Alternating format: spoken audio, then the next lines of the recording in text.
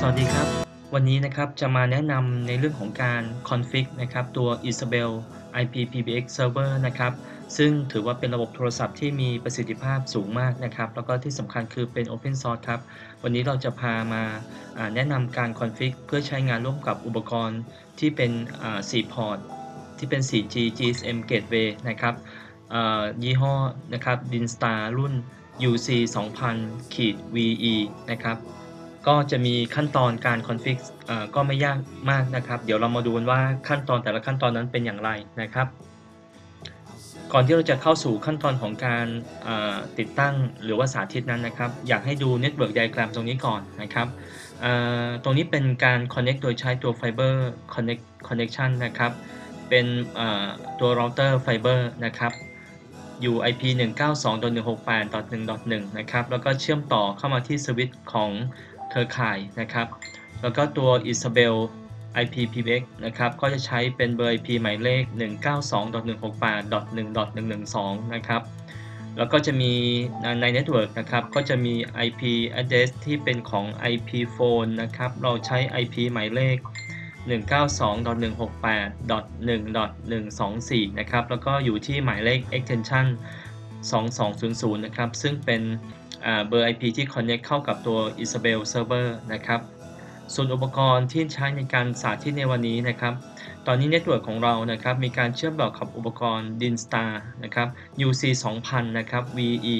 นะครับ โดยที่พอร์ตที่ 0 นะครับ ผมได้มีการใส่ซิมการ์ดเข้าไป 1 ซิมนะครับ แล้วก็ตอนนี้ถูก connect ที่เบอร์ IP นะครับ 192.168.1.122 นะครับ แล้วก็ตัวอุปกรณ์นี้เองนะครับ ก็มีการเชื่อมต่อกับ LAN ที่พอร์ต FE1 นะครับ หรือว่า Fast Ethernet พอร์ตที่ 1 นะครับ เข้าไปยังตัวสวิตช์ของเครือข่ายนะครับ เราจะใช้อุปกรณ์ของ Dinstar นั้นนะครับ ในการที่จะ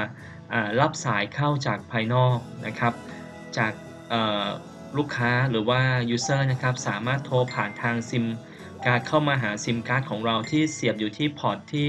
หมายเลข 0 ได้เลยนะครับ ส่วนขาออกนั้นนะครับ ตัว IP phone ที่ในเครือข่ายนะครับ ก็สามารถที่จะโทรออกนะครับ โทรออกโดยผ่านทางตัว DINSTAR ตัวนี้นะครับ แล้วก็สามารถโทรออกไปยังที่ไหนก็ได้นะครับ เป็นเบอร์มือถือ เบอร์โทรศัพท์พื้นฐานนะครับ สามารถโทรได้หมดนะครับ ซึ่งการโทรนี้จะมีค่าใช้จ่ายที่ถูกหรือแพงนั้นก็ขึ้นอยู่กับโปรโมชั่นของซิมที่เราได้ไปทำการเปิดมานะครับอ่าแล้วก็ตอนนี้ผมคอนฟิกอยู่ที่ 192.168.1.2 ครับ เป็น IP ที่ผมจะทำการรีโมทเข้าไปยังตัวอุปกรณ์นะครับ แล้วก็ตัว Isabel Server ครับผม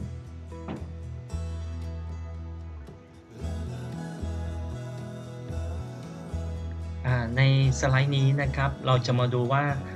ในส่วนของตัวอุปกรณ์ Dinstar UC 2000 VE นั้นนะครับ เรามีการ Connect กับอุปกรณ์อย่างไรนะครับ ที่ด้านหน้าของตัวอุปกรณ์นั้นนะครับ เราจะมีการใส่ซิมการ์ดนะครับ เข้าไปที่ตัวพอร์ตหมายเลข0นะครับ ใส่เข้าไป 1 แผ่นนะครับ รุ่นนี้เองนะครับ รองรับกับตัวซิมการ์ดที่เป็น 4G นะครับ ได้ 4 ซิมนะครับ ก็คือเราสามารถใส่ที่สล็อตหมายเลข0 หมายเลข 1 หมายเลข 2 และหมายเลข 3 ครับ จากการทดลองทดลองนี้นะครับ เราใส่ซิมการ์ดเข้าไป 1 แผ่นครับ ที่พอร์ตหมายเลข 0 ครับ ส่วนด้านหลังของอุปกรณ์นั้นนะครับ เราก็จะมีการ connect LAN cable นะครับ เข้าไปที่พอร์ต FE 1 นะครับ ซึ่งเป็นพอร์ตที่ใช้เชื่อมต่อกับตัวสวิตช์ของตัวเครือข่ายนะครับ ในการ config นั้นนะครับ เราจะมีขั้นตอนของการ config เป็น overview โดยคร่าวๆนะครับ ก็คือส่วนแรกนะครับ เราก็จะมีการ config ที่ส่วนของตัว Issabel IP PBX server นะครับ ซึ่งเราจะทำงานอยู่ 3 ส่วนด้วยกัน คือส่วนแรกก็คือเราจะต้องทำการ add SIP trunk นะครับ เข้าไปในตัวตัวเซิร์ฟเวอร์ของเรานะครับ 2. นะครับ เราจะต้องมีการ add inbound route นะครับ ก็คือเป็นการ config หากมีสายโทรเข้านะครับ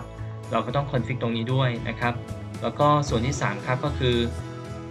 add outbound route นะครับนี่คือส่วนของการที่ extension ภายในนะครับ จะสามารถโทรไปข้างนอกได้ ก็ต้องอาศัยการ config ตรงนี้นะครับ ส่วนในตัวอุปกรณ์ Dinstar UC 2000 VE นั้นนะครับ เราจะมีการ config อยู่ทั้งหมด 4 ขั้นตอนนะครับ ขั้นตอนแรกก็คือ เราจะต้องทำการเพิ่ม IP ทั้งก่อนนะครับ IP ทั้งนี้ก็จะเป็นการระบุ ค่า config เพื่อจะทำการเชื่อมไปยังตัว Issabel Server นะครับ ขั้นตอนที่2นะครับก็จะเป็นการกำหนดในเรื่องของพอร์ตนะครับซึ่งตอนนี้อุปกรณ์ UC 2000 ของ Dinstar นั้นนะครับรองรับตัวซิมทั้งหมด 4 พอร์ตนะครับเราก็จะ config ว่าให้พอร์ตใดบ้างนะครับที่มีสิทธิ์ในการสื่อสารกับตัวเซิร์ฟเวอร์ของเรานะครับ ขั้นตอนที่ 3 ครับ ก็จะเป็นการกำหนด วิธีการโทรออกนะครับ หรือที่เราเรียกว่า outbound routing นะครับ ซึ่งก็จะเป็นการคอนฟิกที่เขาเรียกว่าจาก IP นะครับ สู่ tail ก็คือเป็นตัวอุปกรณ์นะครับ ส่วนขั้นตอนที่ 4 นะครับ ก็จะเป็นการเซตขาเข้านะครับ การโทรขาเข้าหรือที่เราเรียกว่า inbound route นะครับ ก็จะเป็นการรับสายนะครับ จากตัวอุปกรณ์ Dinstar นะครับ แล้วโยน routing เข้าไปยังตัว IP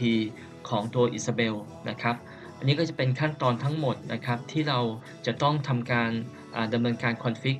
ตามนี้นะครับโอเคครับ เดี๋ยวเรามาดูมาชมการสาธิตกันนะครับว่ามีขั้นตอนและวิธีการแต่ละส่วนอย่างไรบ้างนะครับ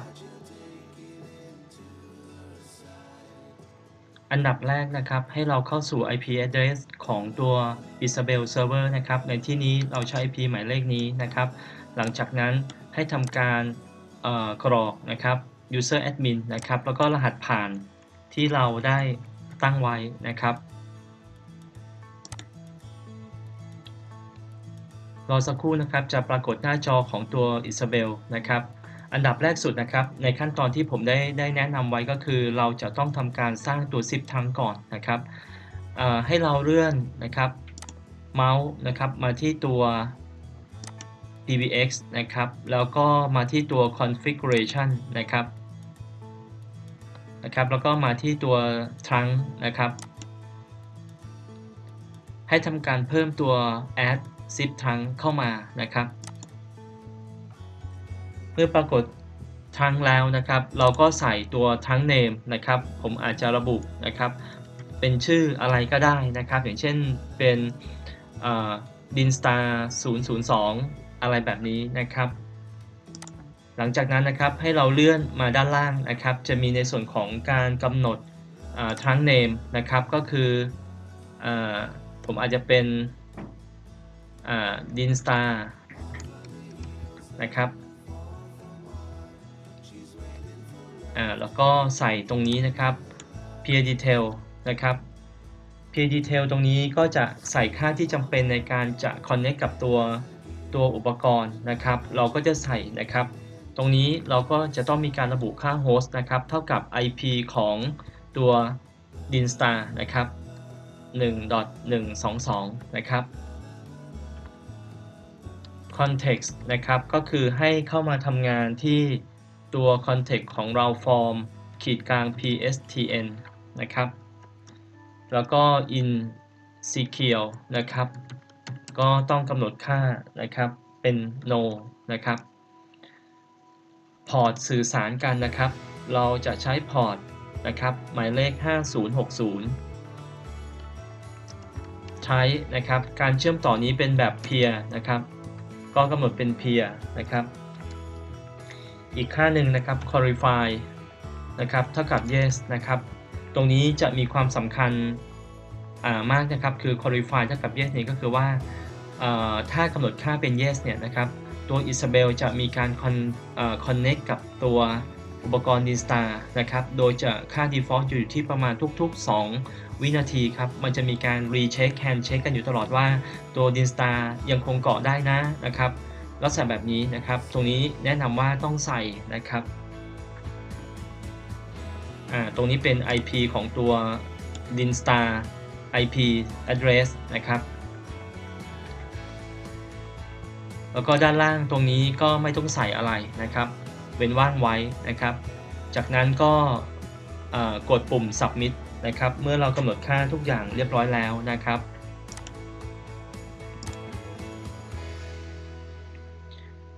เมื่อซิปทั้งเรียบร้อยแล้วนะครับ เราก็ทำการกดปุ่ม apply change นะครับ ก็เป็นสิ้นสุดกระบวนการของการสร้างซิปทังนะครับ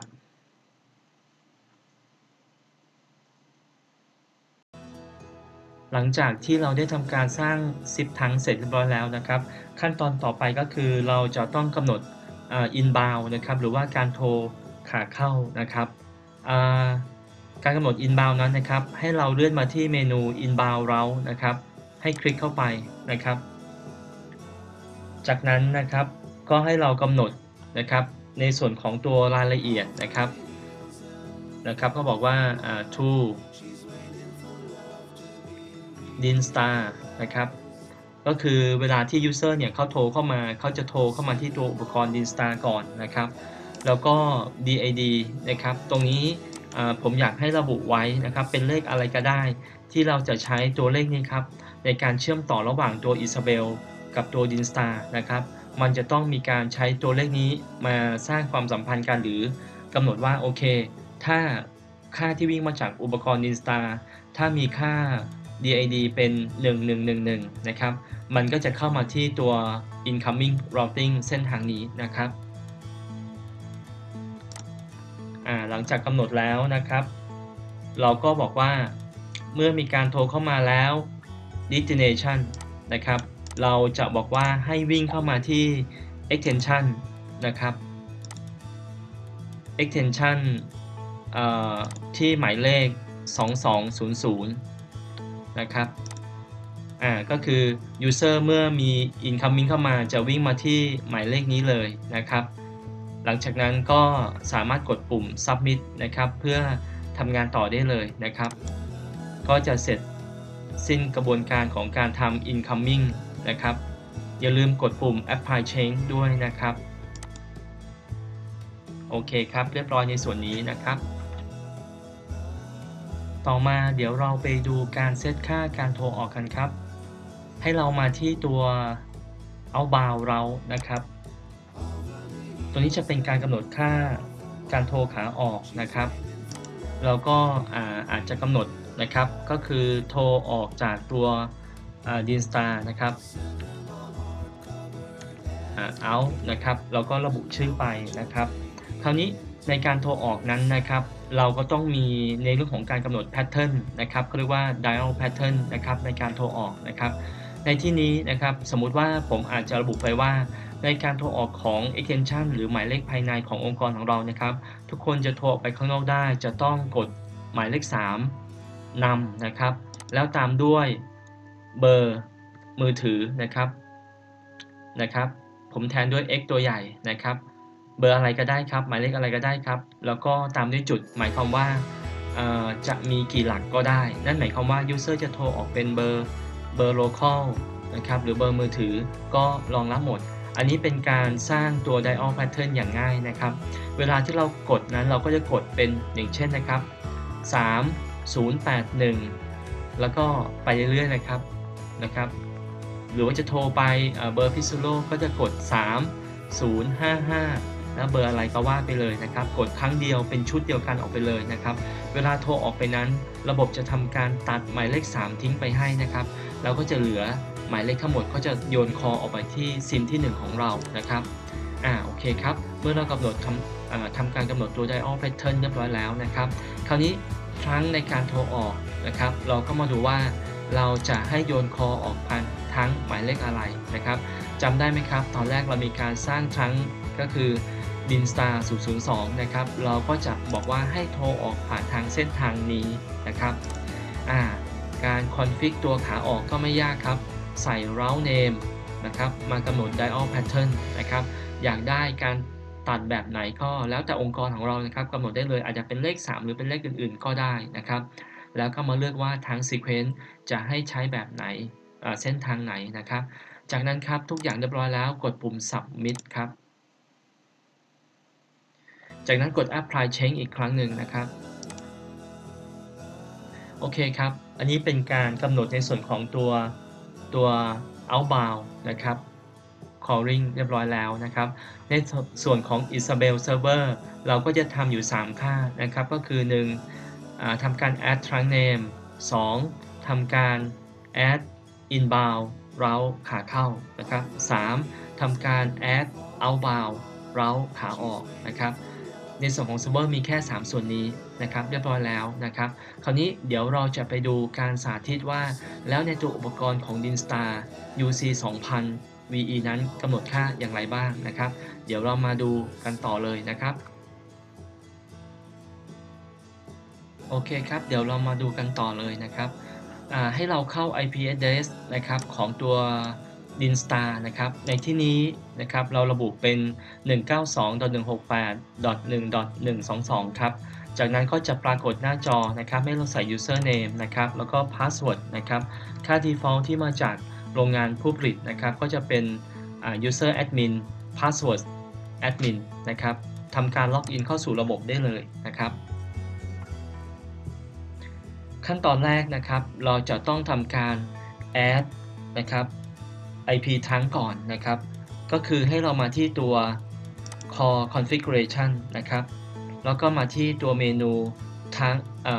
zip ทั้ง configuration นะครับ จากนั้นนะครับให้ทำการกดปุ่ม add นะครับ ให้เราใส่หมายเลข IP นะครับ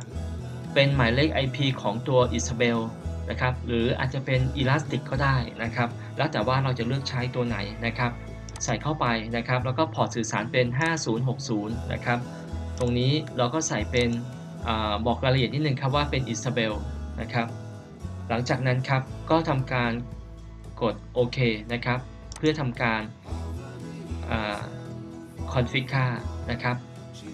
จากนั้นนะครับเราก็เห็นได้ว่าตัวการทำงานของตัวการสร้าง SIP trunk นะครับ เพื่อเชื่อมต่อไป Issabel ก็เสร็จเรียบร้อยแล้วนะครับ ต่อมานะครับเราจะมาทำการกำหนดพอร์ตในการที่จะใช้ในการสื่อสารนะครับ ของตัวอุปกรณ์ Dinstar นะครับ ให้เรามาที่ตัวเมนู Port Group Configuration รอสักครู่หนึ่งนะครับให้เราเข้าไปที่พอร์ตตัวนี้นะครับ โดยการติ๊กตรงนี้นะครับ แล้วก็ทำการ modify นะครับนะครับ ให้เราปรับค่านะครับเป็น index หมายเลขศูนย์คือเป็นตัวเริ่มต้นเลยนะครับ แล้วก็ description ก็คือหมายเหตุไว้นิดนึงครับว่าการทำงานนี้จะส่งผลถึงกับทุกๆพอร์ตนะครับที่เราจะใช้นะครับ ตรงนี้ตรงนี้จะไม่มีการกำหนดค่านะครับส่วนของการโอเทนก็ไม่มีนะครับปล่อยไว้นะครับ แล้วก็เราจะมาใส่ในส่วนของตัว to VoIP hotline นะครับ ก็คือเมื่อตัว ตัว Dinstar เนี่ยส่งตัว calling ไปยังตัว Isabel นะครับ เราจะใช้หมายเลข 1111 ที่เรากำหนดไว้ในใน DID ขาเข้าจำได้ไหมครับ เลขตรงนี้จะต้องตรงกัน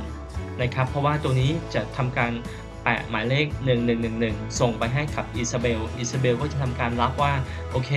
การโทรเข้ามานะครับ มีการส่งค่า DID เป็น 111 มา แล้วมันก็จะทำการรับคอให้กับเรา นะครับ ส่วน caller ID นั้นก็จะวิ่งเข้ามาเป็นปกติอยู่แล้วนะครับจากนั้นนะครับด้านล่างด้านล่างก็ดูว่าพอร์ตสื่อสารใดบ้างที่เราต้องใช้นะครับ ตรงนี้คือเราใช้พอร์ตหมายเลข 0 1 2 3 นะครับ ตัวนี้อาจจะไม่ได้ใช้นะครับ ก็ตัดออกไปนะครับอ่าโอเคนะครับ ก็ทุกอย่างเรียบร้อยนะครับ ก็กดโอเคเพื่อทำงานต่อได้เลยนะครับ อ่าโอเคครับ เรียบร้อยนะครับ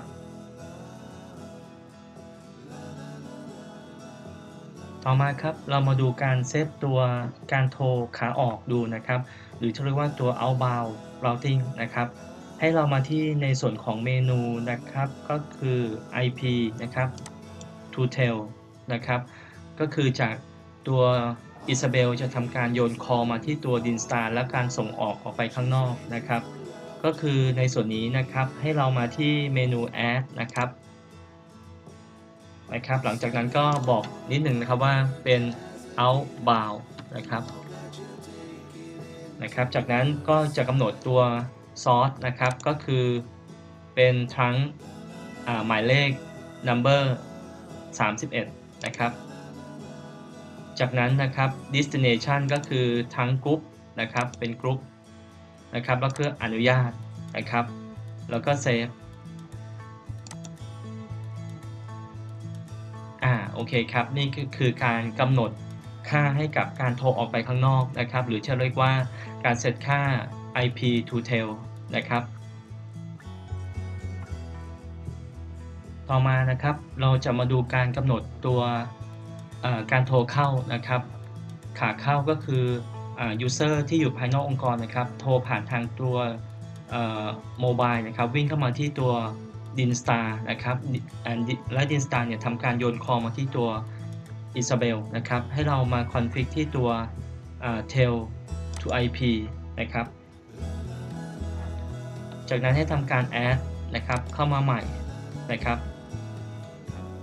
กำหนดเป็นนะครับ inbound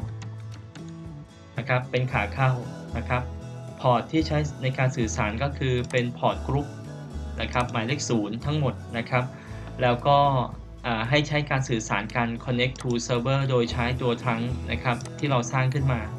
นะครับจากนั้นให้ทำการกดปุ่ม save นะครับ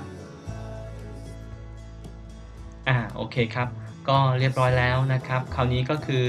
เราสามารถที่จะทดสอบระบบได้เลยนะครับ เราสามารถใช้ตัวตัวเซิร์ฟเวอร์ของเรานะครับ ในการที่จะส่งผ่านค่าต่างๆ แล้วก็สื่อสารกับตัว d i n s t a r ได้เลยนะครับ ในการทดสอบนะครับเราทดสอบขาออกนะครับ ก็คือ outbound เนี่ยนะครับ เราก็สามารถที่จะใช้ IP phone นะครับ หรืออยากเป็น soft phone ก็ได้นะครับ โทรนะครับ ผ่านทางเครือข่ายนะครับ จากนั้นก็จะทำการโทรผ่านตัว Dinstar แล้วโทรไปหา user ที่อยู่ภายนอกได้ ตรงนี้เขาเรียกว่าเป็นตัว outbound calling นะครับ และทำนองเดียวกันนะครับ เราอาจจะทำการทดสอบนะครับ โดยการโทรขาเข้าครับ ก็คือ เราก็ทำการโทรเข้ามานะครับ ยังหมายเลขโทรศัพท์นะครับของซิมการ์ดหมายเลขหนึ่งจากนั้นมันก็ทำการโยนคอนะครับ เข้ามาที่ตัว extension หมายเลข 2,000 ให้กับเราได้เลยนะครับ ลองทดสอบดูนะครับ เมื่อเราทำการทดสอบนะครับ เราก็จะมาดูที่ในส่วนของตัว report นะครับ เรามาดูที่ CDR นะครับ Call Detail Record นะครับ เราก็จะ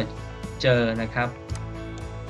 เบอร์ extension นะครับ สามารถโทรไปข้างนอกได้นะครับ แล้วก็ในทำนองเดียวกันนะครับก็คือ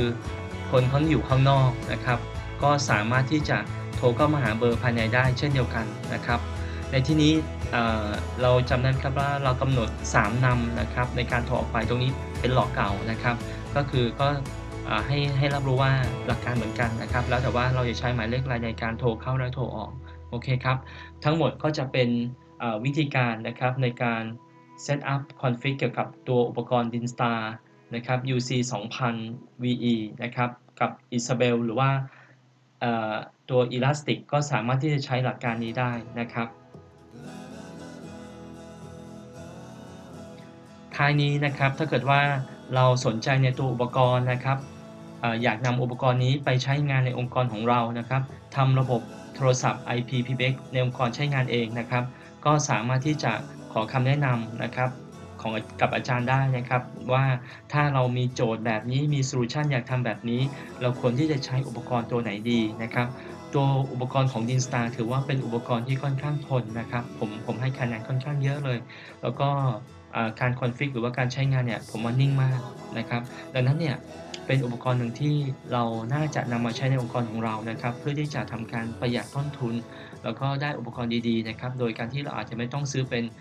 Product แบรนด์เนมแพงๆนะครับเราก็สามารถทำงานได้นะครับหากใครต้องการติดต่อสอบถามรายละเอียดนะครับก็สามารถที่จะอีเมลมาคุยกับอาจารย์ได้ที่